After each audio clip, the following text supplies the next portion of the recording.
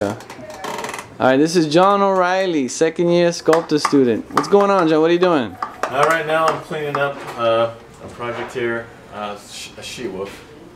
So currently just uh, have everything kind of messed up, just unifying the surface.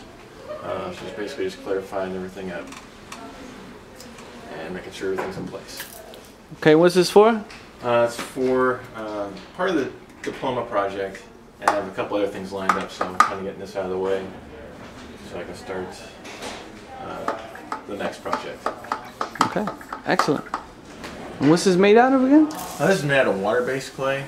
Um, it's called WED clay. It has some kind of like uh, it's a ball clay with uh, some kind of acrylic binder in it. So it's uh, pretty malleable and it kind of feels like plastiline.